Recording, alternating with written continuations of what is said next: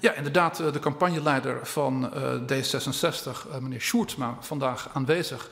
Die kon gewoon de inhoud van die reclamespot van anderhalf uur bepalen. Dus het ene shot moest erin, het andere shot moest eruit.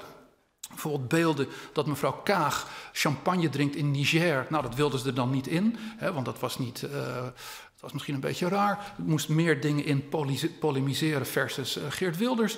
Nou, en dat is ook een voorbeeld van uh, netwerkcorrupties. Blijkbaar is D66 in staat om dus op microniveau de programmering van de NPO te regelen. En de, de campagneleider, meneer Sjoerdsma, kon dus ook gewoon meepraten over het, uit, tijdstip van uitzenden. Dus vlak voor de verkiezingen, op dat moment, zo ver, zo diepgaande banden, zo ver is, is de belangenverstrengeling uh, in Hilversum bij NPO 66.